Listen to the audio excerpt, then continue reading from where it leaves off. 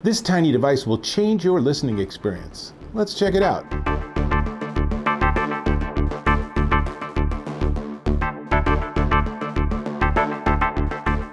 Dave Taylor here, and I'm checking out this. This tiny little gizmo is the FiiO Jade Audio KA1 Compact Portable DAC and Amp. And it's a really simple idea. You plug this into your music source, you plug headphones into the 3.5 millimeter jack on the other end, and it improves the music.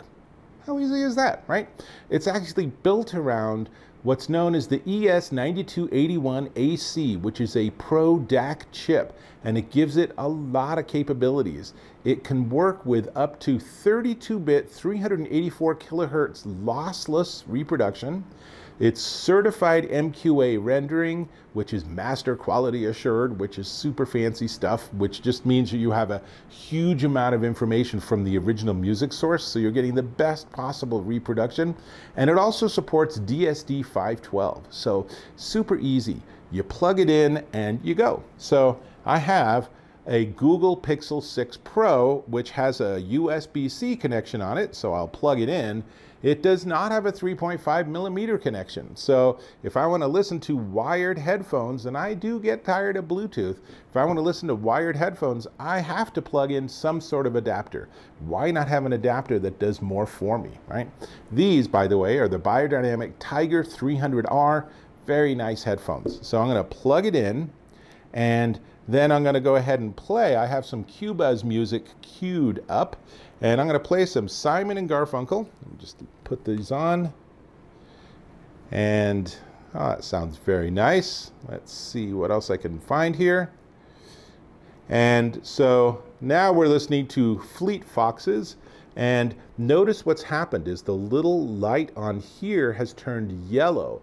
That means it's getting a higher quality audio source.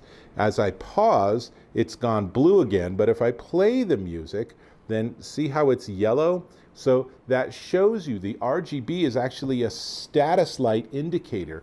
And that's really handy because if you think you're getting really quality music from say Tidal or Qobuz or something, then you can look at this and you can say, hmm, why is it still blue? That's puzzling. Or hopefully you look at it and you say, ah, it's what my ears are telling me. I'm getting a better quality audio signal. And that's what you want.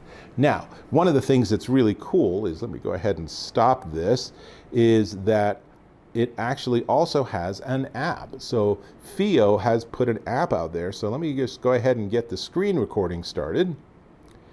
And there we go. And now I can go to the app and I'll show you. It's going to say do you really want it to connect? Then I'll say yes. And now it gives me some control.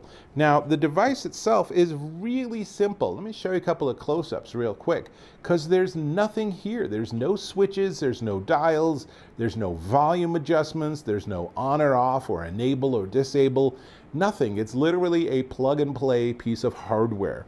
So the way that you control it for the tiny little bit of controls that it has is through the app. You can ignore the app completely and you'll be fine. But notice it lets me turn on and off the inline microphone support if I just want to turn it off. I can turn on or off the indicator lights if I'm like, you know, in the dark and I just don't want that little blue or yellow or purple light going on.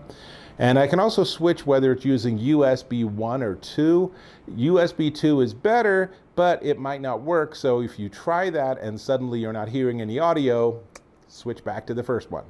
You can also tap on audio on the bottom and then it gives you access to these low pass filters. I'm going to guess you'll never ever touch this, but if you're a hardcore audiophile, this might be something that you'll want to play with. And that's totally cool. You can also reset the whole thing. I just, whoops, let me just tap on the gear on the top right, restore to default settings. So I can do that if I've been playing with it and I'm not sure I want to like leave those settings. And then let me go ahead and turn off the recording.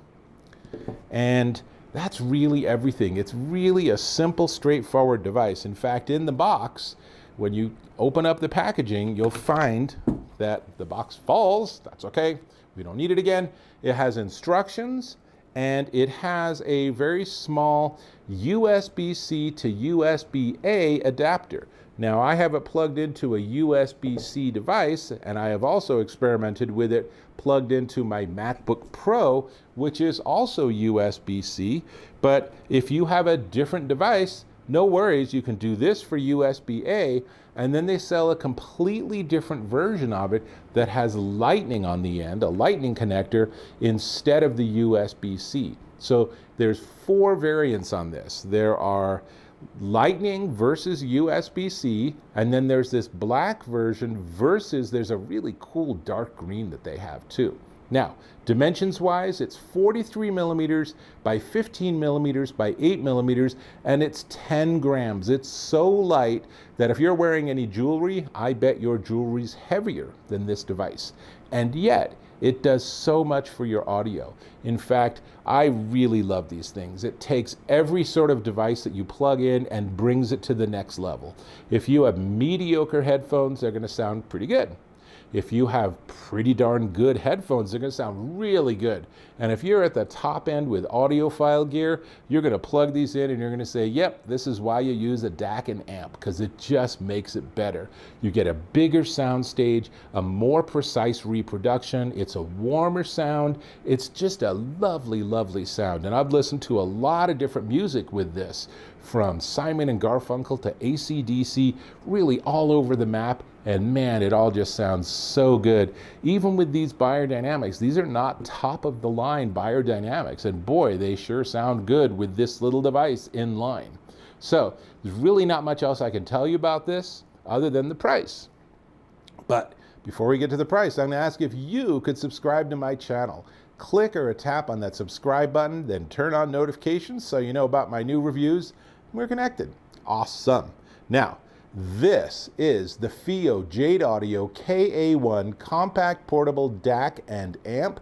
This is the USB-C version in black, and it is $49.99 at Amazon.com. If you switch to Lightning, the Lightning versions are $5 more.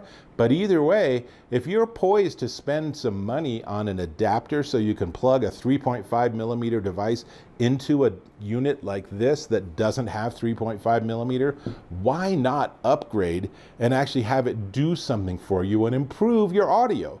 These are just, it's just a great setup. So in fact, I'm going to go ahead and plug it back in and go right back to that AC-DC because, I mean, honestly, who doesn't like AC-DC, right? So let's get here and, all right, well, we're rocking again. So I'll catch you, I hope, in my next video.